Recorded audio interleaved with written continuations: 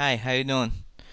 Uh, so today I want to talk about the actual breakthrough that I had, and uh, it came from a book I read by Dr. John Sarno called Healing Back Pain. Now, if you're thinking back pain, what's that got to do with anything? Stick with me, I'll get to it. And there's another book he wrote called The Mind Body Prescription, which is also very good. Okay, so before I get to the meat and potatoes of it, I just want to share with you that I have experienced people telling me it's all in your head, you're making it up, you're malingering, you, this is your way of avoiding life's responsibilities. Uh, this is just uh, you know you you don't you, this is a vacation for you.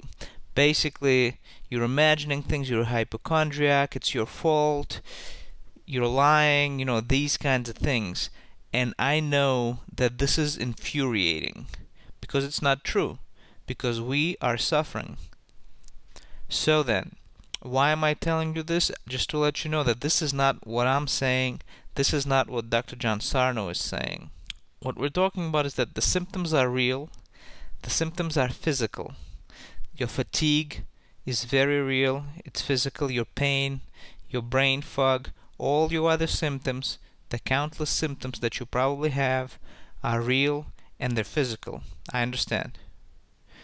My symptoms are the same. Now, the cause of these symptoms is unconscious emotions.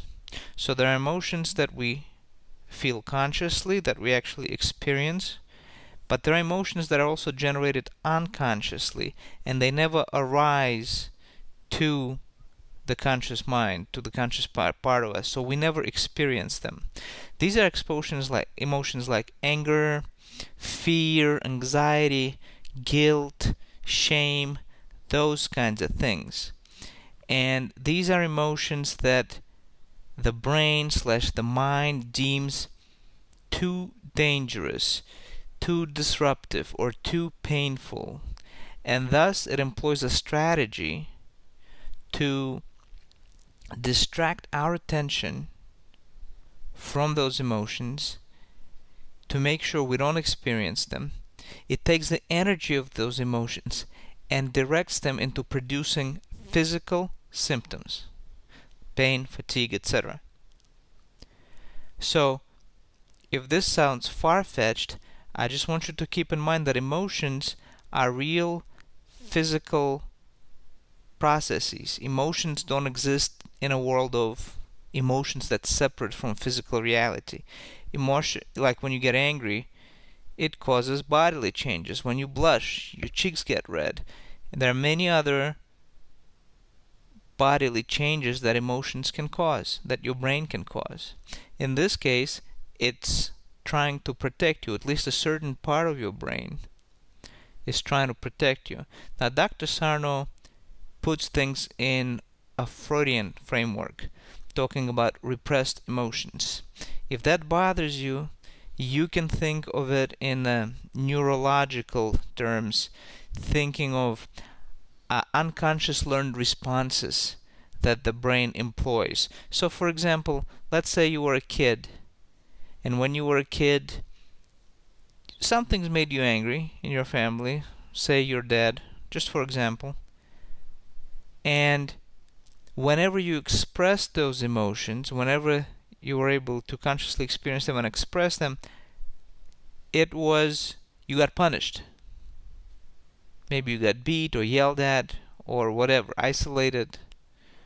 So your brain has learned to suppress those emotions, to direct the energy that emotions generate into other places, generating physical symptoms.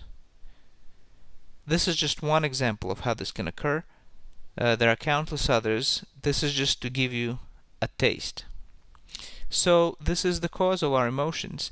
And then it's perpetuated by the fact that we go to the doctor and we're convinced that there's something structurally wrong with us, that we are broken.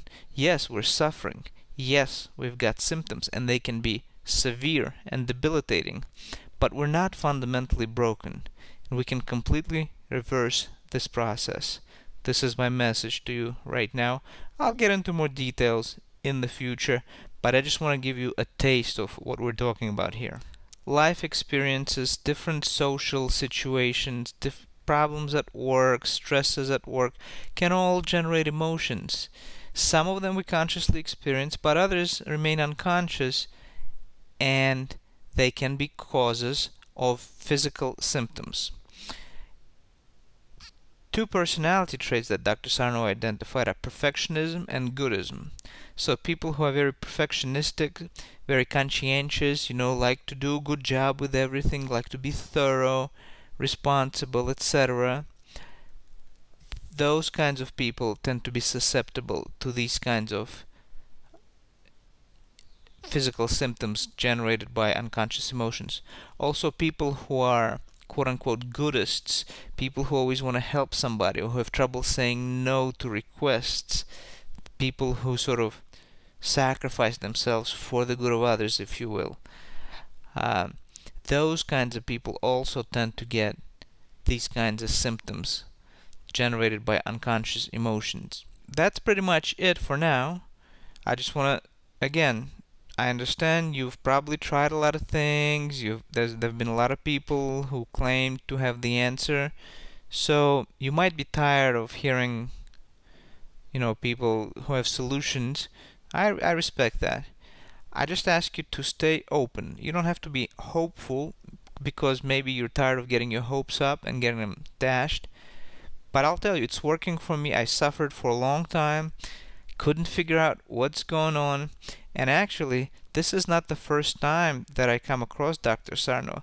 The first go that I had with this approach to dealing with this issue, I was not successful. But something's different now, and I'm going to explore that later. But for sure now, I'm convinced that this is what's going on with me. It's most likely what's going on with you. It is reversible, and I'm going to be well.